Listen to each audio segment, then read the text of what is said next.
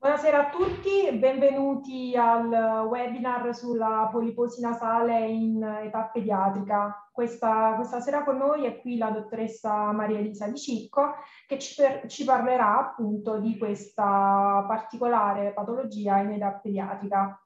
Buonasera dottoressa Di Cicco e a lei la parola.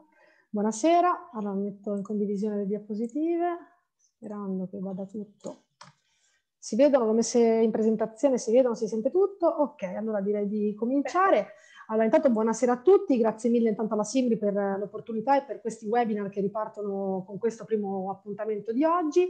Eh, io, per chi non mi conosce, sono una pediatra e sono ricercatrice presso l'Università di Pisa e ho scelto, ahimè, questo argomento un po' spinoso della poliposi nasale per parlarne con voi questa sera. Un argomento interessante, ma come vi dicevo spinoso perché molto ancora, bisogna essere sinceri, non ne, non ne capiamo più che sappiamo. È una condizione questa che conosciamo praticamente già dai tempi degli egizi, quindi non, non, nasce oggi. La prima descrizione viene fatta risalire addirittura dai medici indù, 150 anni prima che, che Ippocrate per la prima volta introducesse il termine polipo e mettesse per iscritto le prime procedure un po' rudimentali per la rimozione degli stessi polipi. Ma cosa sono i polipi nasali? Partiamo dalle basi, perché spesso si fa confusione anche solo su questo.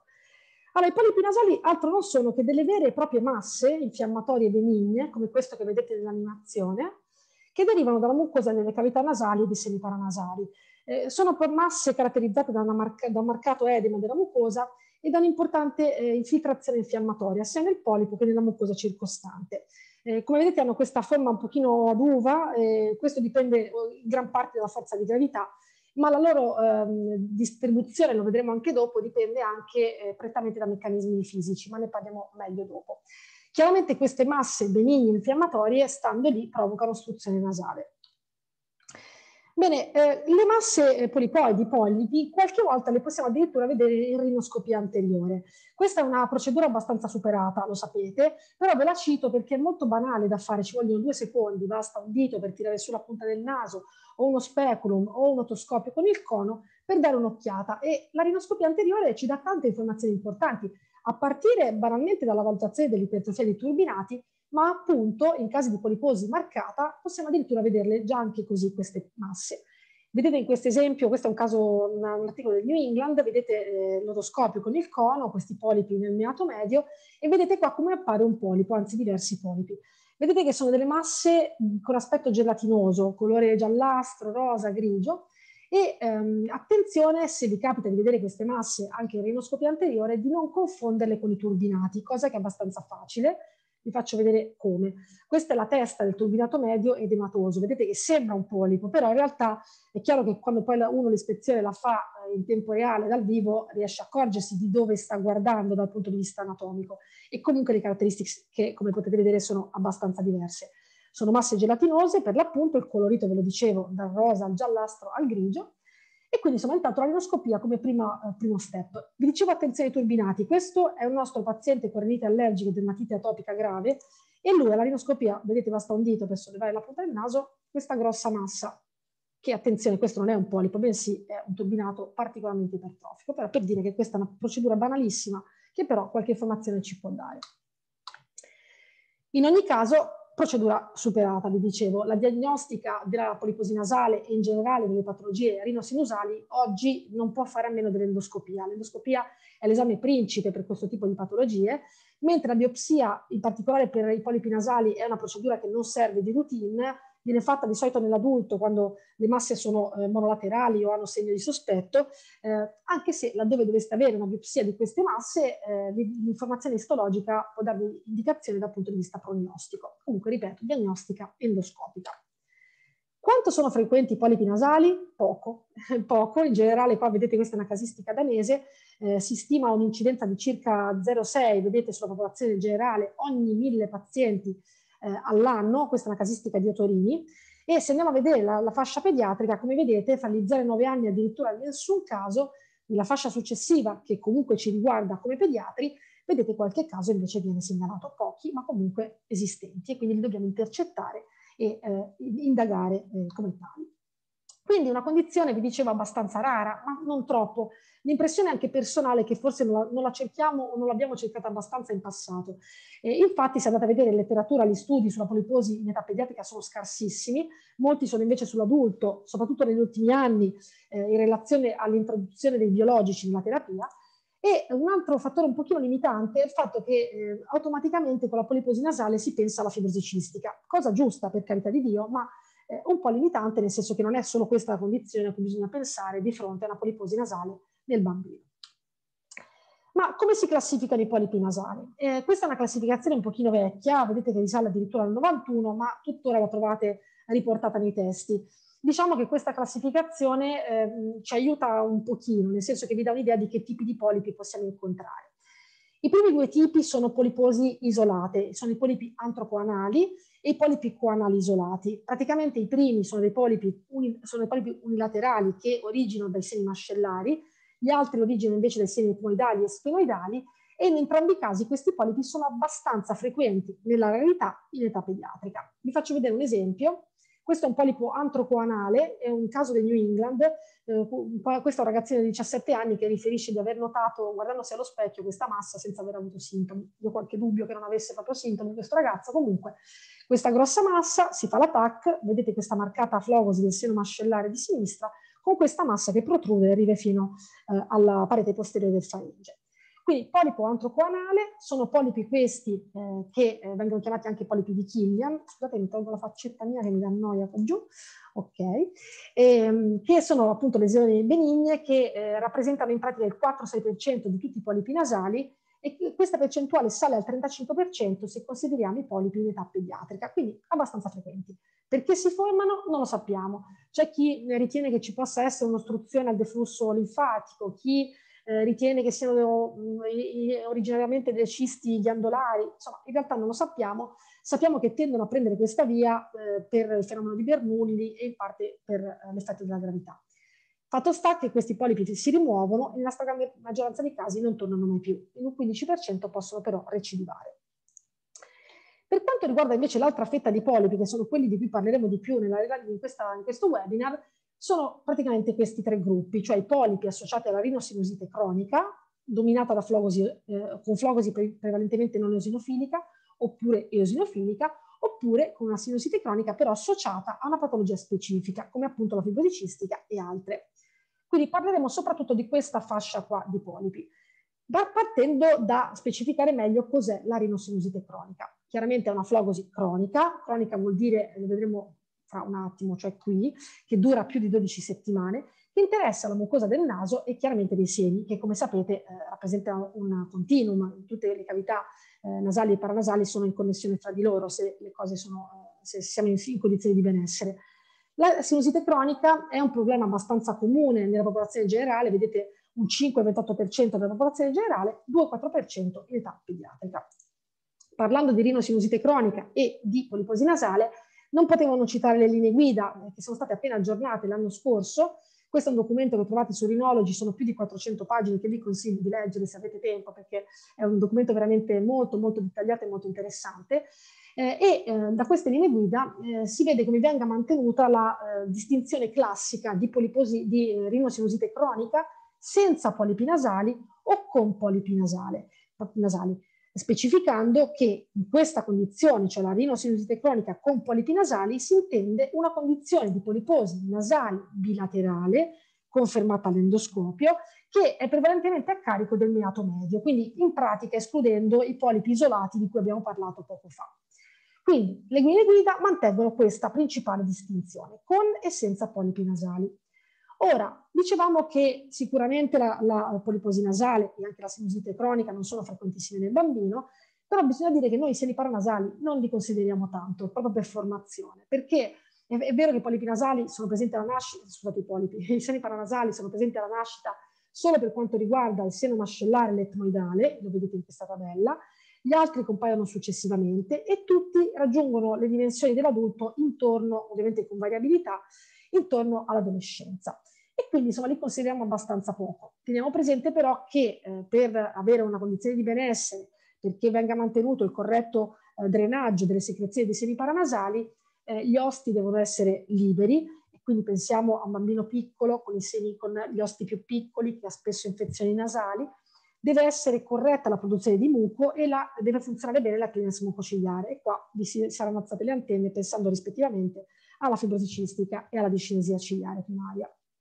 Ebbene, in questo contesto vi segnalo che il punto più importante di, eh, dei seni paranasali è il complesso osteomiatale. Ne avete sicuramente sentito parlare, è un punto in cui in pratica converge la, eh, diciamo il, il drenaggio delle secrezioni dei seni mascellari etmoidali e frontali, quindi abbiamo detto che il mascellare e l'etmoidale sono presenti già alla nascita, per cui in un bambino piccolino, con dimensioni piccole, con osti piccoli, quindi è chiaro che qualsiasi ostruzione a questo livello inevitabilmente rappresenta il primo punto di partenza di una qualsiasi patologia sinusale nel bambino. Quindi questo è un punto particolarmente importante.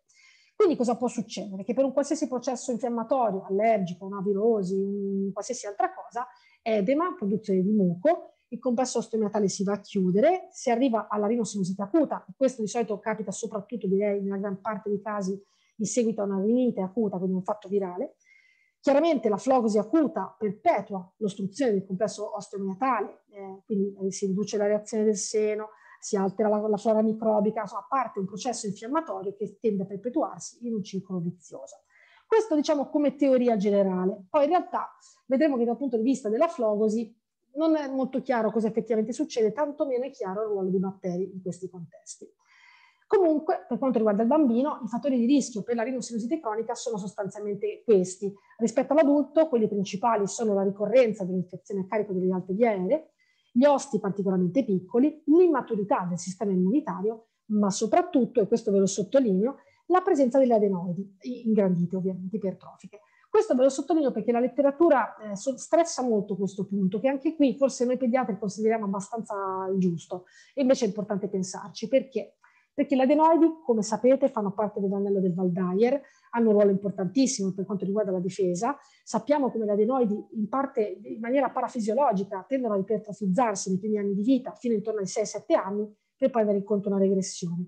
L'ipertrofia dell'idea diventa marcata in un 34% circa di bambini, ma al di là di quello, diciamo che la presenza di questo tessuto in questo punto particolare cosa, cosa provoca? Provoca sostanzialmente in un bimbo che ha spazi anatomicamente più piccoli, eccetera, eccetera, una, eh, diciamo un ostacolo al, al normale flusso, diciamo al passaggio delle secrezioni e quindi una ritenzione di muco. Quindi pensate, un quadro infiammatorio, una rinite, una rinosinusite, con tanto muco che ulteriormente tende a non riuscire ad andare eh, oltre al distretto rinosinusale.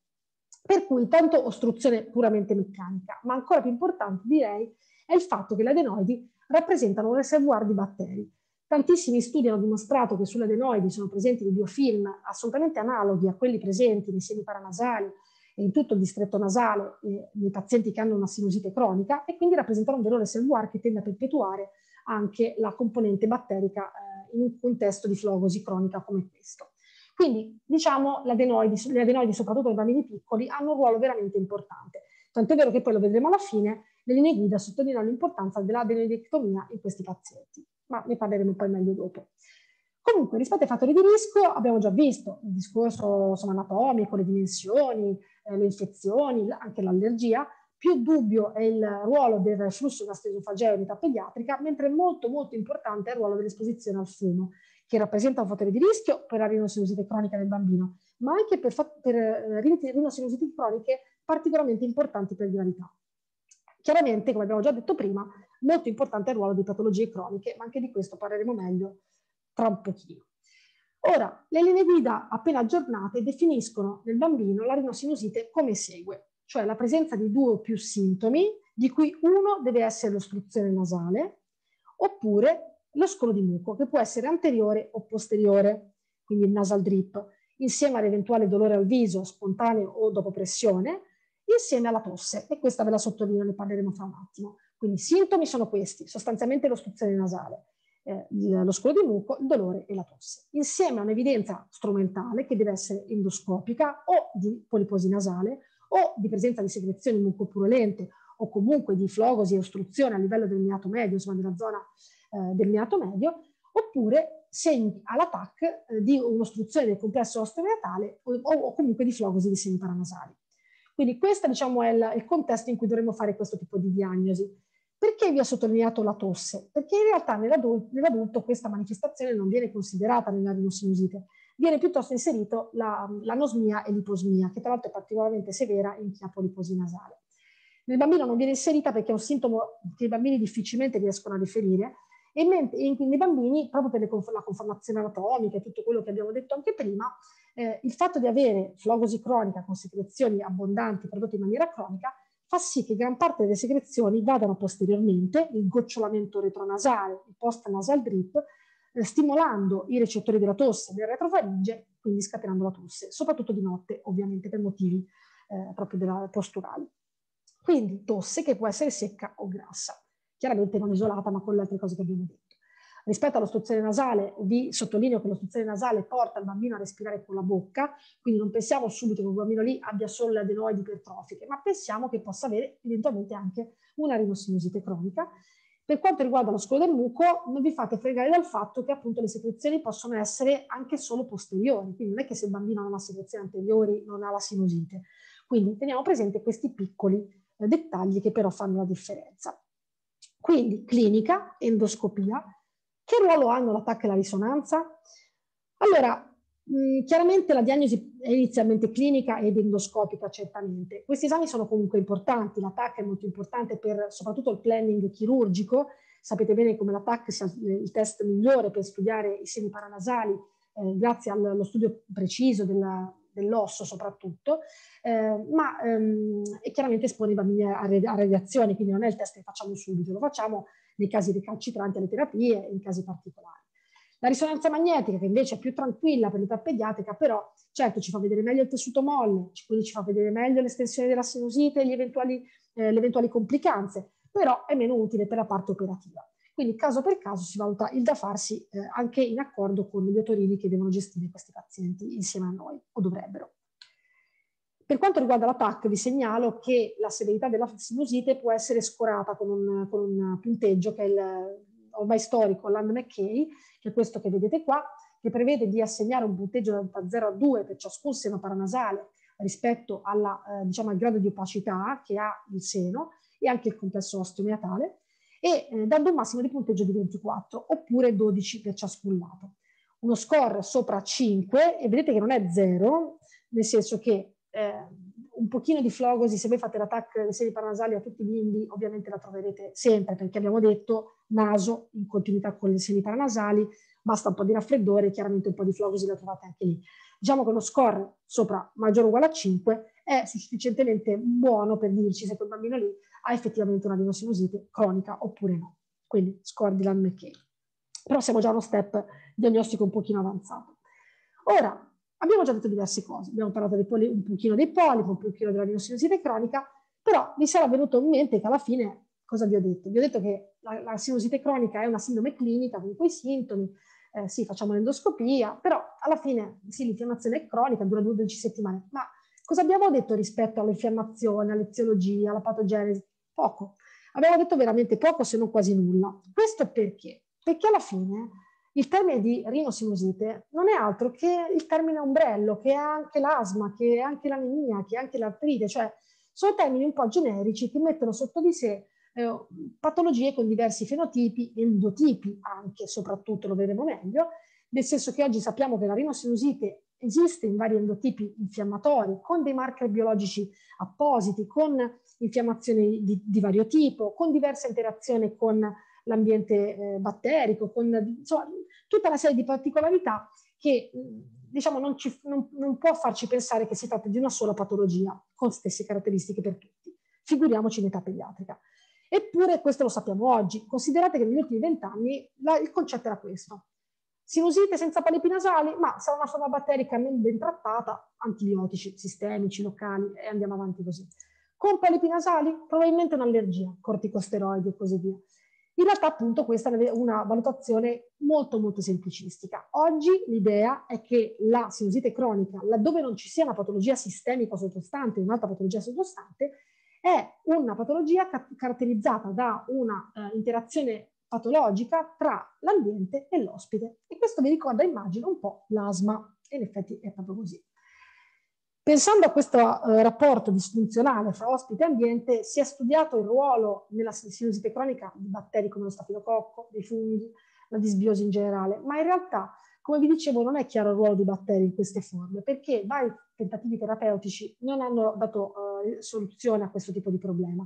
Quindi ora ci siamo spostati a qualcosa di diverso, cioè in questo momento l'interesse è tutto rivolto all'infiammazione, proprio come per l'asma. Cioè ormai si, si pensa che la rinosinusite cronica, ripeto, laddove non ci sia una patologia sottostante, non sia altro che una patologia infiammatoria delle alte vie aeree, proprio come l'asma lo è per le basse vie aeree.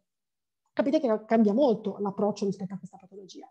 E eh, rispetto a questo, proprio come nell'asma, si è arrivati a capire che la barriera, la mucosa è alterata e quindi ehm, diciamo che la barriera mucosale che normalmente permette di arrivare alla tolleranza, che ci difende, eccetera, qui è alterata e quindi si avvia una serie di processi infiammatori che tendono a perpetuarsi. E quindi vedete che siamo arrivati a un concetto di una patologia multifattoriale con questa interazione fra ambiente e ospite, alterazione della barriera, endotipo infiammatorio e a seconda dell'endotipo infiammatorio avremo un tipo di rimodellamento che può potenzialmente portare alla poliposi. E, una, e, quindi tutto questo processo è, vero, è, molto verosimile che cominci in età pediatrica, quindi ancora dobbiamo capire, ma probabilmente gran parte delle poliposi dell'adulto cominciano nel bambino. Questa diapositiva che sembra un po' complessa, in effetti forse un po' lo è, eh, vi fa vedere quali sono eh, gli endotipi infiammatori attualmente in studio per la rinosinusite cronica. Per farvela in maniera più sem semplice possibile, diciamo che eh, una volta che c'è ehm, diciamo, il danno di barriera con l'attivazione della flogosi, eh, le vie infiammatorie sono di tre tipi, un tipo 1 caratterizzato dalle citochine interferon gamma, TNF-alfa, il tipo 2 le interlochine 4, 5 e 13 e il tipo 3 l'interlochina 17 e 22. Queste tre vie sono eh, pensate dal sistema immunitario rispettivamente per eh, combattere i virus, i parassiti, i batteri e i funghi. Nel caso della fagosi cronica della rinosinusite, in, probabilmente in qualche parte, diciamo, un po' tutte le vie vengono attivate, però eh, si sta eh, sempre di più vedendo come nei vari soggetti ci sia una predominanza dell'una o dell'altro tipo di flogosi. Cosa voglio dire? Che per esempio nei soggetti in cui è predominante il tipo 1 o il tipo 3, che peraltro sono anche quelli meno studiati al momento, ehm, ebbene in questi casi la flogosi è tipicamente neutrofilica e lo vedete qua. Oh, scusate, ho schiacciato qualcosa. Eh, è tipicamente neutrofilica. Eh, invece per quanto riguarda il tipo 2, che è quello più studiato, in questo caso la flogosi è tipicamente eosinofilica. E peraltro in questo uh, sottotipo particolarmente studiato sappiamo oggi che questa flogosi particolarmente marcata è quella che più facilmente porta al rimodellamento e in particolare alla poliposi. Non è che la flogosi neutrofilica non porti alla poliposi nasale, ma certamente in, in, in percentuale molto molto minore. E peraltro le forme di tipo 2 sono anche quelle più resistenti alle terapie. Vi dicevo che eh, il tipo, 2, il tipo mh, mm, eh, diciamo la, la, forma neutrofilica non è che non porti alla poliposi. Qui in questo specchietto vedete che c'è scritto che la maggior parte dei, dei, eh, della poliposi nasale in Europa è legata all'infiammazione tipo 2, quindi eosinofilica, ma in Asia, dove la poliposi è ora, lievemente inferiore rispetto alla prevalenza che abbiamo noi, ma in ogni caso lì è prevalentemente neutrofilica, quindi poi per carità ci sono anche fattori etnici, o, anche genetici, insomma qualche studio c'è, ma eh, ancora non, non, risolutivi su questi aspetti, ma per dirvi che il rimodellamento della fagosi cronica della sinusite c'è comunque, ma sicuramente quella che porta a poliposi nasale più tipicamente è quella osinofilica.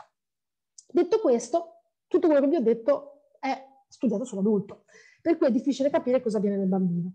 Quello che sappiamo è che la flogosi nel bambino è una flogosi prevalentemente linfocitica e neutrofilica, ma in quei pochi studi relativi alla sinusite cronica nel bambino e anche nella poliposi ma questo è vero soprattutto nei bambini piccoli. Quindi è probabile che nei bambini piccoli, quindi quelli che hanno l'ipertrofia dell'idea, con quelle cose che abbiamo detto prima, ci sia una flogosi cronica più neutrofilica, nei bambini invece più grandi, piano piano diventi più eosinofilica e quindi si avvicini alla flogosi dell'adulto. Quindi avete già capito che è un quadro molto complesso di cui ancora tante cose non sappiamo. Ma vediamo come la rinosinusite cronica o poliposi si associano alla rinite allergica e l'asma. Oggi l'idea delle eh, vie aeree unite è un concetto che conosciamo tutti, le vie aeree superiori e le vie aeree inferiori non sono distretti separati, ma sono uniti si condizionano l'uno con l'altro e quindi chiaramente ce lo aspettiamo anche per quanto riguarda questi aspetti. E in particolare per la rinite allergica, rinite allergica, flogosi, rinosinusite. Allora, diciamo che se eh, questa cosa abbastanza logica, in realtà in letteratura questo tema è abbastanza controverso. Diciamo che le casistiche non sono per nulla concordi, eh, questa è una casistica pediatrica su 4.000 bambini con rinosinusite cronica vedete che in effetti la rite allergica è abbastanza pre prevalente, sono il 27% dei casi, quindi addirittura più delle altre patologie sistemiche. In realtà molti altri dati eh, non confermano queste percentuali, sia nel bambino che nell'adulto. Per farvela breve, pensate che per quanto riguarda i polipi nasali, questi sono riportati ehm, come meno comuni nei pazienti con rite allergica rispetto alla popolazione generale. Quindi qualcosina non torna. E quindi questo link non è affatto chiaro. Quello che sappiamo oggi rispetto all'allergia è che l'allergia ha un ruolo determinante nella rinosinusite cronica, anche con poliposi, in alcuni endotipi particolari. Capisco che è un po' complesso, ma seguitemi nel ragionamento. Diciamo che la rinite allergica globale, cioè il nostro paziente con rinite eh, allergica da acari o polipi, o scusate, pollini, difficilmente arriva a fare una rinosinusite cronica con poliposi. Nei casi invece, per esempio, di pazienti che sono allergici ai, ai funghi come all'aspergillo, agli zigomiceti, si può sviluppare una sinusite fungina allergica molto grave come questa, vedete c'è una flogosi marcatissima di semi paranasali, solitamente unilaterale, con eh, espansione dei seni senza marcatissima erosione del, dell'osso, che può dare poliposi e toptosi oculare. Quindi questa è una, una flogosi tipicamente allergica, IgE mediata, cioè da ipersensività di tipo 1. Quindi qui l'allergia sicuramente è un fattore causale importante. Analogamente questo avviene eh, per quanto riguarda una, una, variante di rinosinusite con, poli, con polipi, recentemente descritta nell'adulto, ma che verosimilmente ci aspetteremo di vedere anche nel bambino, ovvero questa malattia atopica del compartimento centrale, cioè praticamente sarebbe questa una forma di eh, flogosi marcata con mm, eh, diciamo formazione di polipi marcato edema del turbinato medio, quindi porzione più anteriore del naso, che sembrerebbe essere legata alla continua inalazione di allergeni inalanti nel soggetto allergico. Cioè quel soggetto allergico alla polvere che continuamente inala eh, gli allergeni e quindi quelli fisicamente vanno a impattare lì, scatenando la flogosi, eccetera, eccetera. Questo è stato recentemente descritto, nel bambino ancora ovviamente non sappiamo nulla, però per dirvi che sicuramente per l'allergia queste due condizioni sono importanti. Sulla rite allergica non è chiara l'associazione, probabilmente però la flogosi eh, della rite allergica è un fattore, come abbiamo già detto prima, favorente la rinosinusite in generale. Vi segnalo l'importanza anche delle riniti non allergiche, in particolare queste cellulari, che sapete si diagnostica con la citologia nasale, perché? Perché questo tipo di, di riniti non allergiche, che sono abbastanza frequenti nel bambino, sempre di più sembrano essere coinvolte proprio in queste forme di rinosinusite ehm, che, eh, che, poi l'adulto sviluppa successivamente con flogosi eosinofilica soprattutto e che quindi dovremo cercare di intercettare il più possibile in età pediatrica. Però questa è un'altra storia e magari se ne parlerà un'altra volta. Rispetto all'asma invece, eh, le evidenze sono tutte concordi. La rinosinusite cronica è associata all'asma con percentuali variabili dal 10 al 70%, ma quello che sappiamo per certo è che questa associazione è particolarmente stretta nei soggetti che hanno un'asma con flogosi di tipo 2 e ehm, in questi pazienti eh, la rinosinusite si associa a poliposi nasale e sono i pazienti che hanno asma grave. Quindi verosimilmente questa flogosi di tipo 2, che quindi coinvolge tutto il distretto alte e basse di aeree, e diciamo che eh, fa sì che queste condizioni siano eh, manifestazioni diverse della stessa patologia infiammatoria. Questa lasciamo perdere. Volevo sottolinearvi come, eh, ma tanto forse l'avete già richiamato da voi, come siamo nell'era dell'endotipizzazione dell'asma, cioè anche nell'asma sempre di più parliamo di infiammazioni di tipo 2 eh, o di tipo 1 oppure di eh, basso livello di flogosi di tipo 2 e quindi proprio in questi pazienti con flogosi di tipo 2, che vi dicevo poco fa, come vedete, quindi marcatori di eosinofilia, feno, eccetera, poliposi nasale e asma grave, quindi con eh, scarsa risposta agli steroidi, esacerbazioni e così via. Quindi vedete, come vi dicevo, stesso, diciamo, manifestazioni diverse della stessa malattia.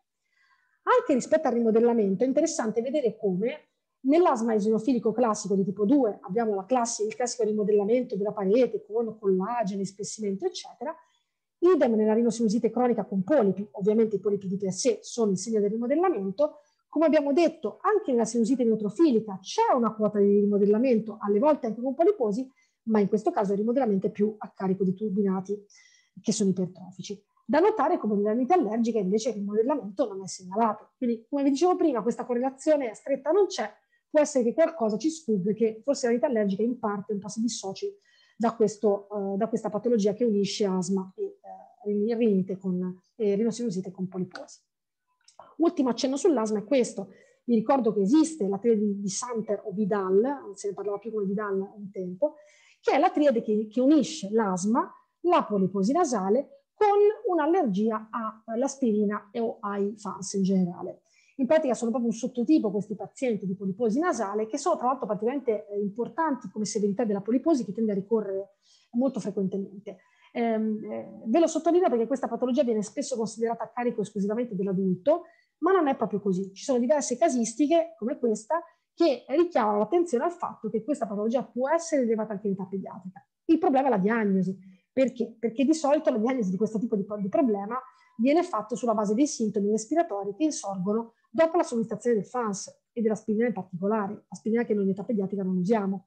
Quindi non è sempre facile capirlo, nell'adulto o in chi ha avuto sintomi certamente sì, quindi comunque bisogna indagare l'eventuale allergia ai FANS o all'aspirina e da linee guida, se abbiamo pazienti pediatrici con poliposi nasale severa, dobbiamo prendere in considerazione questa, questa condizione, eventualmente valutando con l'allergologo se può servire un challenge con un falso con l'aspirina. Quindi tenetela presente, rara ma possibile.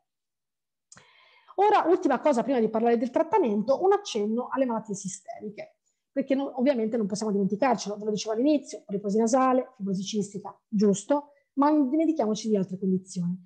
E per parlare di questo vi accenno a un caso clinico. Questo è il nostro paziente di 16 anni che ci ha fatto parecchio penare eh, l'anno scorso ed è un paziente che ha una storia di rinite cronica dall'età di 3 anni con eh, salvazione a salvi, minorrea, eccetera, prove allergologiche più volte negative. A 14 anni comincia a soffrire di cefalea importante, fino ad, ad andare un giorno in pronto soccorso, fa un attacco, eh, viene messa in evidenza una pansinusopatia, eh, come lo vedete, cronica, insomma lo vedete abbastanza bene, troidali, mascellari, frontali, e vabbè, passa, passa così, non gli, viene, non gli, viene, data nessuna indicazione particolare, passa qualche mese e viene ricoverato per un episodio di insufficienza respiratoria acuta, il primo, non aveva mai avuto problemi respiratori, viene ricoverato per un episodio broncostruttivo importante, ha esame obiettivo una marcata rinolalia, ostruzione nasale, e vabbè, viene trattato per l'episodio acuto, pensando forse a una forma effettiva, viene messo comunque in terapia con gli steroidi, visto anche il quadro di interessamento nasale, e eh, successivamente comunque qualche episodio di broncostruzione continua a comparire, fino a che nell'ottobre del 19 ha un episodio importante di dispnea ingravescente, cioè, o meglio, ah, scusatemi, una dispnea ingravescente, a cui si associa una tosse catarrale produttiva, quindi spettorava questo bimbo, questo ragazzo alla mattina, calo ponderale importante e all'ascoltazione gemiti in ed espiratori diffusi. Lo vediamo in ambulatorio e questa è la sua, la sua spirometria. Quindi una grave ostruzione eh, generale, eh, marcata in particolare a carico delle vie periferiche, con una dilatazione negativa. Ovviamente il ragazzo non ci piace, calo ponderale, questo qua sono proprio maciato come aspetto, quindi gli facciamo anche un po' di esami del sangue, celiachia, tiroide, indici di flogosi, l'emocromo, le prove allergologiche, tutto negativo. Gli mettiamo la terapia, uno steroide con un LABA, la zetromicina vista la tosse catarrale, il prednisone e il salbutamolo per l'accesso acuto sulla di broncostruzione, aggiungiamo un po' di terapia nasale, dopo un mese effettivamente sta un pochino meglio, la spirometria si normalizza, ma continua ad avere tosse catarrale, quasi quotidiana facciamo una cultura dell'espettorato, positivo per Staphylococcus aureus, però contaminato, boh, quindi sono aspetti, prendiamo tempo. Rifacciamo gli esami a distanza, nulla di particolare a parte le GE totali un pochino aumentate, facciamo anche il test del sudore, visto anche lo stato generale del ragazzo, mutazioni del CFTR negative, C anche P anche negativa, quindi insomma non riusciamo a capire bene cos'ha. Alla fine, visto il persistere della tosse catarrale, facciamo una PC del torace che mostra bronchiolectasie a carico di entrambi gli emitoracei e anche alcuni eh, piccolissimi addensamenti bilaterali. Nel frattempo eh, siamo arrivati a marzo, nel periodo in cui fa la TC, facciamo di nuovo l'emocromo che mostra sorprendentemente una iperosinofilia che non aveva precedentemente. Quindi facciamo la ricerca per i parassiti, sierologia, tutto negativo. Arriviamo ad aprile, eh, nonostante inizialmente avesse avuto un lieve miglioramento della sintomatologia nasale con la terapia locale, lavaggi e steroidi, ha un episodio di cefalea molto importante con vertigini. Perde ancora peso, lo ricoveriamo di nuovo. Gli osinofili sono sempre questi, vista oculistica, cardiologica, tiroide, insomma non emerge nulla, facciamo una risonanza in encefalo. Prima, scusate mi sono dimenticata giustamente la valutazione Torino. La valutazione Torino che mette in evidenza questa, una rinosinusite cronica, già lo sapevamo, ma soprattutto ci sottolinea la presenza di polipi. Alla risonanza viene confermata la, la pansinusopatia, ma nettamente peggiorata rispetto alla TC di praticamente un anno e mezzo prima. Lo vedete anche qua, segni etmoidali strapieni, quindi marcata flogosi dei seni paranasali, con l'otorino decisiamo di fargli fare terapia steroidea antibiotica e poi di fare un controllo TC a distanza. Fa la TC dopo un mese, il quadro è migliorato, ma come vedete ancora molto molto marcato. Ora, visto la storia, sintomi basse vie aeree, eh, tosse catarrale quotidiana, la sinusite, facciamo lo studio delle ciglia respiratorie e eh, sorprendentemente, a parte non avere la discinesia ciliare primaria, all'esame ultrastrutturale ci viene, fatto, ci viene detto che nel campione inviato c'è una quota enorme di osinofili e quindi già avete capito che alla diagnosi siamo già praticamente arrivati. Vi faccio presente che gli esami ematici ripetuti anche in quell'occasione non mostrano rialzo degli indici di flogosi nonostante quel quadro marcato di flogosi sinusale, gli osinofili sempre intorno ai 1000, ma il FENA è molto alto, la proteina cationika degli osinofili anche, lo striscio di sangue periferico mostra l'iperosinofilia, ma in sintesi abbiamo fatto diagnosi di Churg-Strauss, quindi una, una eh, poliangite eh, granulomatosa osinofila. Quindi sulla base dei eh, criteri diagnostici, quindi 4 rispetto ai 6 classici, storia di asma, eosinofilia, infiltrati polmonari e interessamento sinusale. Questo ragazzo ora fa terapia come polizma e, e, sta decisamente meglio. Però per dire che questo caso è stato abbastanza difficile, eh, insomma, però eh, bisogna pensare anche a queste diagnosi, anche, che peraltro poi tendono a manifestarsi nel tempo, non è facile fare diagnosi in, in tre secondi, come nel caso del nostro paziente. Quindi il messaggio quale voleva essere? Poliposi nasale certamente è rara, dobbiamo cercarla, laddove ci, la, ci troviamo di fronte a questo quadro, pensiamo a patologie sistemiche come la fibrosi cistica, ma anche alle vasculiti, ma anche alla discinesia ciliare primaria e anche alle immunodeficienze. Rispetto alla discinesia ciliare primaria, vi ricordo che la poliposi nasale è abbastanza frequente, vedete che il 10% dei bambini ha poliposi nasale e che la rinosinusite cronica è assolutamente caratteristica, al punto che avere una TC dei semi negativa pone, diciamo, rende molto improbabile la diagnosi di ICP. Rispetto agli immunodeficit, vi volevo sottolineare come nella rinosinusite cronica e nella poliposi nasale è importante usare le, immunoglobuline, quindi IgM, IgA e IgG, perché eh, diciamo, queste condizioni si associano proprio al deficit della eh, risposta umorale.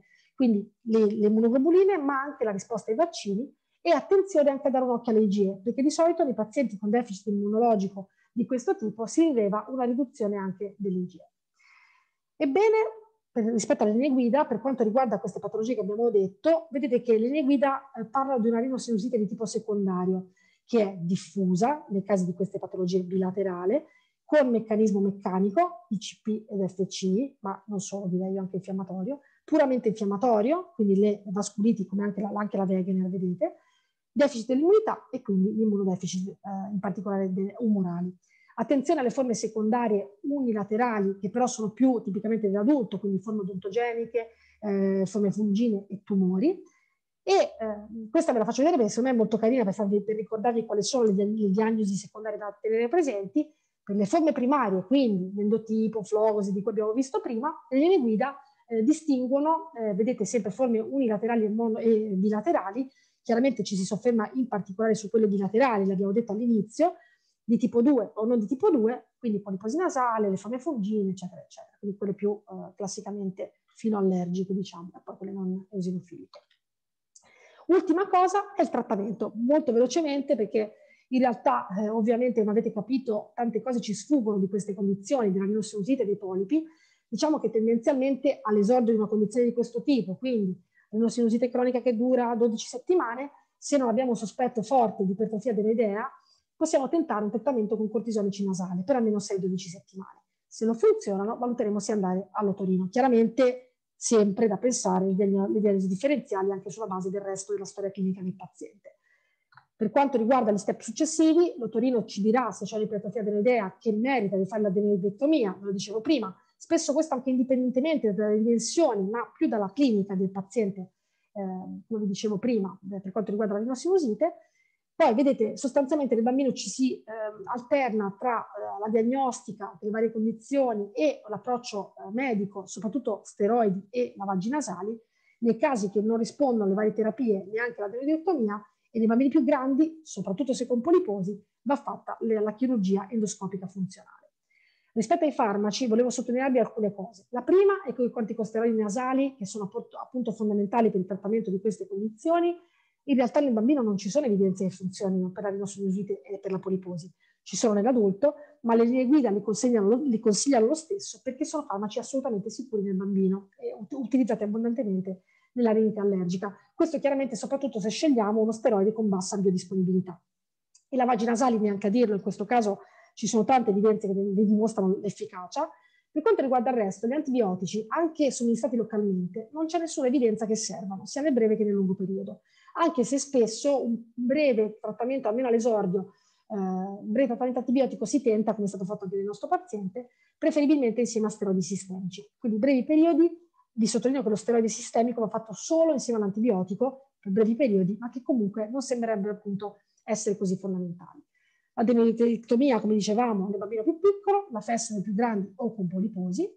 Mi raccomando che se prescrivete lo steroide nasale, ricordatevi di spiegare come va fatto, perché già spesso i pazienti non sono complianti, ma se lo fanno male non serve a niente. Le bombolette vanno agitate e deve essere il getto erogato, lo vedete qui, verso l'esterno, non verso eh, il rinofaringe, ma verso i turbinati e non verso il setto nasale né il paziente deve soffiare dopo l'erogazione né deve tirare su col naso, altrimenti ovviamente il farmaco non si deposita. Quindi è importante dare anche le indicazioni giuste. Rispetto al fatto che la terapia funzioni o meno, dalle linee guida del 2020 è stato finalmente introdotto il concetto di controllo, proprio come per l'asma. Per poter valutare se la rinosinusite è sotto controllo, si valutano nell'ultimo mese questi sintomi, quindi l'ostruzione nasale, la rinorrea o il post-nasal drip, il dolore al viso, l'eventuale iposmia, eh, la, i problemi a dormire, l'eventuale endoscopia e l'eventuale utilizzo di, di trattamento in acuto, steroidi o antibiotici. E come vedete la rinosinosite è controllata, parzialmente controllata o non controllata a seconda che sia presente una di queste manifestazioni o tre o più di queste, quindi presente eh, la maggior parte dei giorni della settimana e così via. Ma soltanto ve le potete scaricare, queste sono liberamente disponibili. Però è un concetto nuovo che prima non c'era e che secondo me eh, fa riflettere sul fatto che sempre di più queste condizioni si stanno avvicinando quantomeno per le forme primarie, all'asma. Vi volevo anche sottolineare come una rinosinusite non ben controllata può dipendere certamente dalla compliance, che è il primo problema, certamente eventualmente anche da una terapia non ben impostata o non ben spiegata, dal fatto che ci può essere eh, qualcosa dal punto di vista della, diagnosi che non abbiamo fatto correttamente, ma attenzione, dipende anche dalla, diagnosi. I pazienti che noi seguiamo con discinesia ciliare primaria voi pazienti con fibrosi cistica, per quanto voi facciate lavaggi, terapie nasali, eh, l'ostruzione nasale tendenzialmente non va mai via. Anche con la chirurgia questi pazienti facilmente recidivano purtroppo. Ultimo accenno lo faccio ai biologici, perché per i bambini ancora non li possiamo usare per la rinosinusite, ma dato che appunto le, la, le, la, diciamo, le nozioni rispetto all'endotipizzazione della rinosinusite cronica nell'adulto sono abbastanza avanzate per quanto riguarda la forma eosinofilica, Ebbene, si è provato, esattamente come con l'asma, ad applicare i biologici. L'anti-GE in realtà sembra non dare particolari benefici. L'anti-L5 in realtà è stato provato su un unico studio, in realtà eh, con pazienti mh, in gran parte asmatici, qualche eh, beneficio ce l'ha. Le linee guida europee dicono che potrebbe essere un'opzione, eh, almeno nei pazienti che ehm, rientrano nel, eh, nei criteri per la sua prescrizione, che hanno anche poliposi nasale. In sintesi diciamo che l'unico biologico ad oggi approvato per il trattamento della poliposi nasale eh, è sostanzialmente il dupilumab, quindi il biologico che va eh, contro la subunità alfa del recettore dell'interleuchina 4. Praticamente questa subunità eh, è comune, diciamo, o meglio, vediamo meglio qua, ecco qua. Il recettore per l'interleuchina 4 e 13 sostanzialmente eh, hanno in parte questa stessa subunità, quindi con questo biologico andiamo ad attaccare entrambe le vie, l'interleuchina 4 e l'interleuchina 13. E gli studi di, dimostrano assolutamente nell'adulto come questa terapia sia in grado di ridurre la dimensione dei polipi e di ridurne la ricorrenza. Quindi effettivamente funziona. Chiaramente viene utilizzato nell'adulto solo nelle forme di poliposi bilaterale importante che hanno fatto la chirurgia e hanno recidivato e che hanno chiaramente i marcatori di flogosi eosinofilica. E anche in questo caso, laddove si utilizza il biologico nell'adulto, va valutata a distanza di 16 settimane l'efficacia del trattamento, si può continuare se funziona e poi ancora una valutazione dopo un anno. Quanto puoi farlo? Chiaramente lo scopriremo strada facendo. Ultimi messaggi, o meglio, take home messages di questa relazione è che la poliposi nasale e la rinosinusite cronica sono condizioni abbastanza rare in età pediatrica, di che eh, necessitano dell'endoscopia per una diagnosi di conferma e di certezza, che sono condizioni laddove presenti che ci devono far pensare sempre a patologie sistemiche, ma non solo alla fibrosi cistica, all'immunodeficienza, alle vasculiti, eccetera, che laddove non ci sia una di queste patologie, ma eh, ci sia una forma verosimilmente primaria, quindi una rinosinusite cronica infiammatoria con poliposi nasale, verosimilmente c'è una flogosi di tipo 2 e, qui, e che spesso nel bambino, come nell'adulto, questi si associano ad asma grave. Le adenoidi invece nelle forme del bambino più piccolo sono importanti per le rinosinusiti, Il trattamento di tutte queste forme deve basarsi sulla terapia medica con i corticosteroidi lavaggi con soluzione salina, ma quello che è importante è che abbiamo una grossa, grossa necessità di capire meglio tanti di questi aspetti. Ancora non sono chiari e certamente nel bambino siamo ancora all'inizio dello studio di queste condizioni. Mi verrebbe da dire che siamo anche all'inizio dello studio delle early origins della, della rinosinosite dell'adulto. Quindi secondo me nei prossimi anni ci sarà molto da, da studiare, da scoprire in questo ambito. Messaggio invece pratico, molto molto pratico, se vi trovate di fronte a un bambino con rinosinosite cronica e poliposi nasale, ricordatevi di fare qualche accertamento di minima, quindi eh, le prove allergologiche, i test immunologici di base, quindi le immunoglobuline che abbiamo visto prima, il test del sudore ed eventualmente la genetica per per la fibrosi cistica, eventualmente il brushing nasale, nasale per il, la discinesia ciliare primaria, chiaramente se ci sono sintomi suggestivi, per quanto riguarda la coltura dei, ehm, diciamo delle, delle, secrezioni dei seni, questa ormai non viene fatta più se non in casi particolari. Quest'ultima parte secondo me è fondamentale. Qua c'è scritto possible consultation. Io toglierei possible. Secondo me tutti questi pazienti dovrebbero essere valutati in maniera multidisciplinare, tutti insieme, l'allergologo, l'immunologo, eh, l'otorinoringoiatra e chiaramente anche l'opremologo pediatra. Io con questo ho finito, vi, vi, intanto vi saluto in attesa di eventuali domande e vi ricordo che a ottobre si terrà il congresso della Simbri in forma ibrida, un po' in presenza e un po' online, quindi speriamo di poterci vedere dal vivo. Spero abbiate sentito tutto perché purtroppo parlare da soli è sempre un po'... No, si è sentito tutto benissimo. Meno male, sì, meno male è stato tutto perfetto. Eh, allora, in, uh, negli strumenti di chat e domande e risposte non sono arrivate domande al momento. Invito chi, chiunque volesse farlo di, uh, di, scrivere appunto utilizzando questi, questi due strumenti.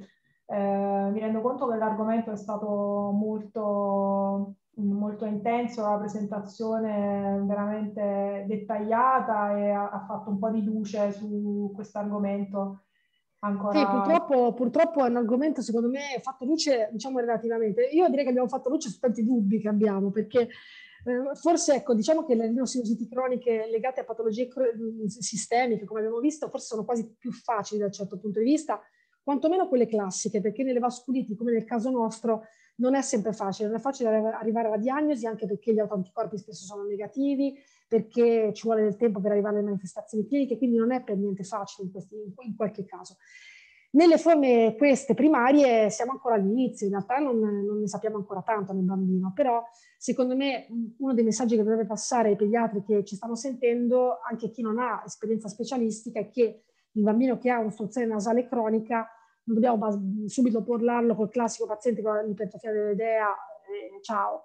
Cioè, sicuramente magari è giusto mettere una terapia steroidea nasale e rivederla a distanza, ma quello che vorrei che passasse è che è importante assolutamente l'invio all'otorino. Cioè l'endoscopia in questi pazienti va fatta, un test eh, assolutamente eseguibile senza fastidi particolari. Certo, il bambino non è felice, ma non ha dolore ed è un esame veramente importante. Cioè, oggi fa parte del, dell'esame obiettivo dell'otorino, quindi bisogna inviarli, bisogna cercarli, altrimenti non li troviamo. Questo è poco ma sicuro.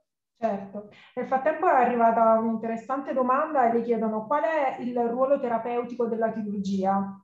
Sì, allora, per, allora giustamente non, non, mi sono soffermata molto perché eh, ci avremmo messo, già ci ho messo un sacco, ci avremmo messo anche di più. Allora, la chirurgia, come dicevamo, eh, sono sostanzialmente nel bambino due gli approcci chirurgici che si utilizzano. Il primo basale è quello relativo alla benedettomia, rispetto alla sinusite cronica stiamo parlando. Eh, la FES invece, la chirurgia endoscopica funzionale, è quella che si utilizza nel bambino più grande e quindi più verosimilmente con poliposi nasale. Quindi diciamo che una volta fatto un tentativo medico, perché comunque la terapia deve essere primariamente medica, gli steroidi nasali c'era una, eh, una Cochrane, l'ho tolta perché era già troppo lunga la, la presentazione, che dimostra quanto gli steroidi nasali siano estremamente efficaci nel ridurre la dimensione dei polipi e la sintomatologia. Quindi gli steroidi nasali insieme ai lavaggi nasali sono assolutamente la prima linea terapeutica. Laddove però eh, chiaramente nonostante la terapia fatta bene, perché ripeto, spesso il problema è la compliance, ma se viene fatta bene e non si riesce a risolvere il quadro, chiaramente lo step successivo è l'otorino e eh, l'intervento che funziona molto bene. I polipi, eh, l'intervento non è particolarmente invasivo, vengono eh, portati via anche in maniera abbastanza semplice. Il problema è che spesso queste forme recidivano, soprattutto queste osinofiliche, così come quelle legate a patologie sistemiche, però è assolutamente un'opzione valida. Prima la terapia medica, poi quella chirurgica. Grazie mille. Allora, se qualcun altro vuole, vuole fare qualche altra domanda alla, alla dottoressa, noi siamo, abbiamo ancora, ancora, tempo. Non so se, se lei vuole uh, precisare qualche, qualche, altra cosa nel, nel, frattempo. Beh, ci sarebbe tanto da precisare. Io veramente nel fare questa presentazione ho tagliato un sacco, perché allora è un argomento che a me interessa molto, perché nella pratica quotidiana devo dire che diverse volte ultimamente mi è capitato di avere pazienti con poliposi nasale anche in maniera un po' inattesa, no? Quindi un paziente, cioè, o meglio, te lo aspetti, però poi quando la l'otorino ti chiama dice, oh ma guarda, quello c'è una poliposi nasale massiva, rimane un po' così. E quindi mi è piaciuto molto approfondirlo perché in effetti, anche per formazione, a parte ovviamente io, grazie al dottor Pifferi, ho una grossa esperienza rispetto alla discinesia ciliare primaria, ecco, su questi pazienti un'altra cosa che mi verrebbe da sottolineare come messaggio pratico è la rinolalia. Questi pazienti che hanno poliposi nasale e sinusite cronica hanno la rinolalia marcatissima e che non recidiva con la terapia, soprattutto via che diventano più grandi, adolescenti e poi adulti. Eh, quindi ecco, dal punto di vista prettamente proprio eh, clinico, come um, indici di sospetto, l'ostruzione nasale, la rinolalia, sono domande banali che però quando facciamo le visite andrebbero sempre fatte. Quindi il bambino ha voce nasale, ha, eh, respira a bocca aperta, ha alito cattivo alla mattina, eh, tosse notturna, tutte quelle cose che abbiamo detto, già solo per la parte di, di indice di sospetto. Sull'esame obiettivo non mi sono soffermata perché non c'era tempo, non c'è tantissimo da dire, ma qualcosina sì, nel senso che questi pazienti spesso hanno un palato givale perché per l'ostruzione nasale con la lingua spingono sul palato e quindi assume questa forma a tetto.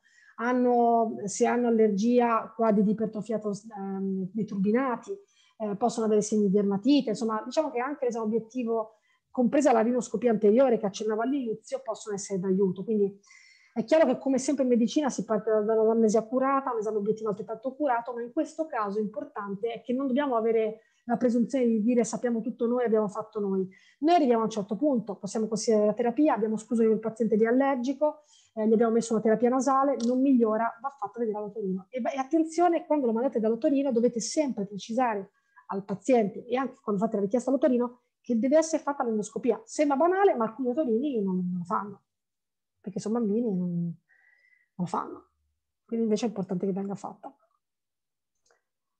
Bene. Sarebbe carino parlare anche delle riniti non allergiche a lungo, cioè della citologia nasale, perché c'è tanti studi su queste eh, forme osinofiliche, mastocitarie, che probabilmente sono appunto l'early origin della sinusite. Ma insomma, io credo che ci sarà tanto da dire nei prossimi anni su questi aspetti, che troppo tempo sono stati ignorati, ma è un po' la storia dell'asma, è un po' la storia della VPCO, cioè ora cominciamo a capire che i problemi respiratori dell'adulto cominciano nell'età pediatrica, ma è logico, cioè dal nostro punto di vista lo è ovviamente, per gli adulti un po' meno, cioè stiamo cominciando adesso e il naso per tanto tempo è stato considerato come inutile. Sicuramente ci sarà spazio nel, per, per, discutere appunto di, di, queste patologie di cui discuteva e sicuramente la Simri darà spazio all'approfondimento su, su, questi argomenti che sono sicuramente di, di rilievo e di interesse per tutti. Dottoressa, io dal momento che non ci sono altre, altre domande, la, la, ringrazio molto per, averci, per essere stata qui con noi, per aver fatto questa presentazione eh, così eh, comprensiva e, e approfondita di, di questo argomento, per quanto siano le conoscenze attuali, ovviamente. E ringrazio tutti per, per, aver eh, partecipato e vi do appuntamento al prossimo, al prossimo, appuntamento, al prossimo webinar simili. Grazie a tutti, grazie, grazie ancora dottoressa Di Cicco. Grazie a tutti, se poi qualcuno volesse ulteriori informazioni, qua c'è il mio indirizzo di mail, insomma mi potete contattare come volete, quando volete. Va bene? Arrivederci a tutti, grazie mille e grazie ancora alla Simili. Grazie, arrivederci. Arrivederci.